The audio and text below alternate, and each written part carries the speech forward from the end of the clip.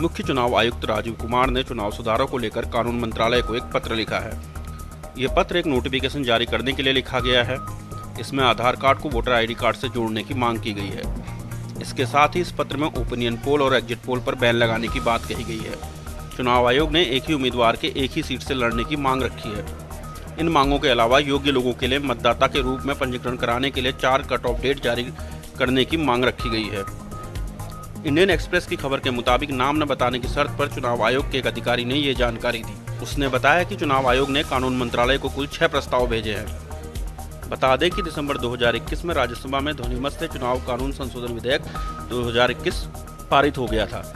इसके बाद आसानी से आधार कार्ड को वोटर कार्ड से जोड़ा जा सकता है। विपक्ष ने इस संशोधन का विरोध किया था। उन्होंने मोदी सरकार पर आरोप लगाया था कि उसने इसे बिना किसी चर्चा के जल्दबाजी में पारित किया है। चुनाव आयोग ने 24 ए फॉर्म में संशोधन की मांग की है, जिससे बीस हज़ार रूपए की बजाय दो हज़ार रूपए के अधिक के चंदे को राजनीतिक दलों के द्वारा सार्वजनिक किया जाए। जन प्रतिनिधित्व अधिनियम उन्नीस सौ इक्यावन की धारा उनतीस के मुताबिक चुनाव आयोग को पार्टियों को पंजीकृत करने का तो अधिकार है, लेकिन उसे उनका पंजीकरण रद्द करने का अधिकार नहीं है।